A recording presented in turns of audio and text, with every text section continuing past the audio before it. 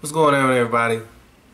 I decided to do like a step-by-step thing for Galen College of Nursing because there isn't one that I found uh, on the internet. You know, I go searching for information about Galen, and you know, you get the advertisement thing you can find on YouTube or whatever else. You know, but it's not really someone's honest oh well this what happened here and this what happened there.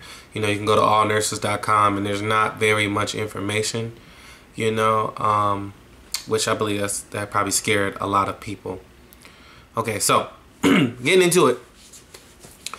This year it's 2016 today is uh, august 11th within the 2016 year galen college of nursing in tampa bay which is where i am got its ACEN accreditation.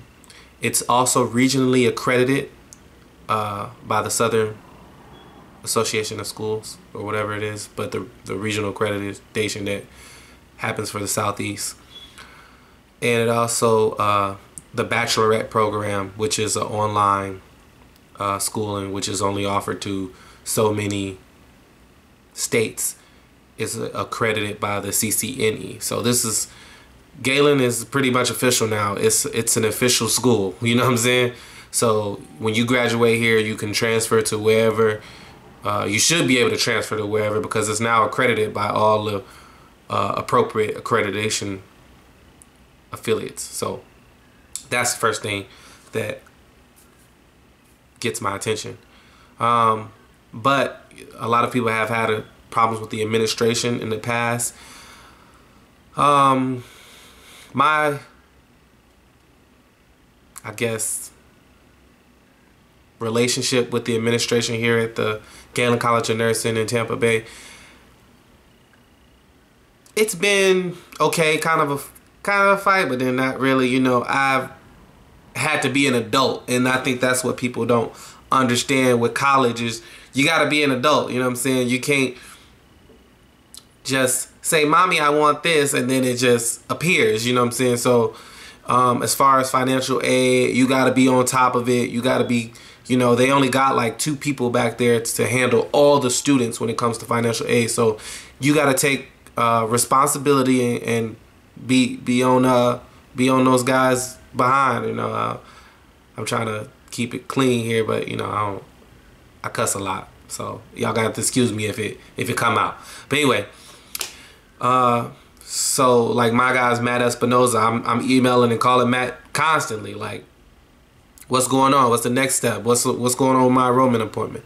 I'm at the state now where I'm going to uh, get an enrollment appointment, assuming that all the paperwork goes through. All the paperwork has gone through. It's just been a fight because they they keep coming back, like this expense report and stuff. They want to know uh, where my money is coming from and how I'm getting it and who what I'm spending it on and all that, which I don't really believe is any school's business. But I mean, for whatever whatever, uh, I'll do it. Whatever to to get the process rolling. Because I mean, every school I've been to do, does that.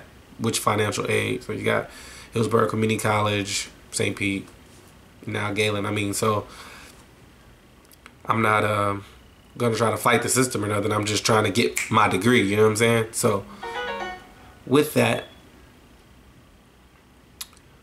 um, so anybody who's not in my predicament probably won't go through all that, but hopefully um, that goes streamlined. But um, every time you call Galen, somebody, some front desk lady picks up the phone and you say, "Can you patch me in? Can you patch me through to enter name of whoever you want to be patched through to?"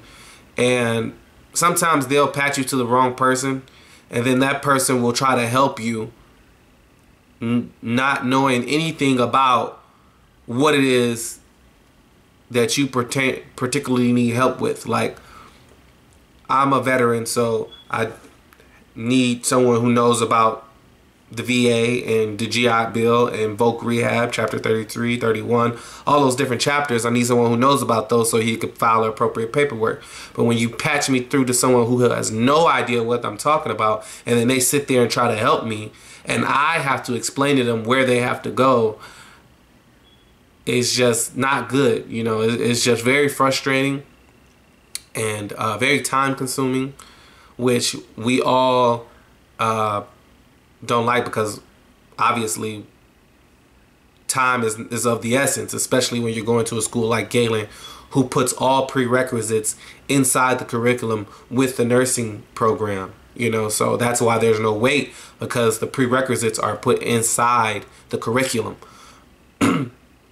so you're gonna be you're gonna be busy, you know. So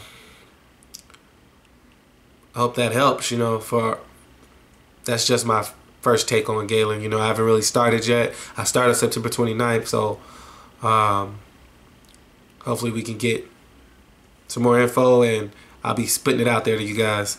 All right. Future nurse, Joshua Jenkins. Nurse Jinxy.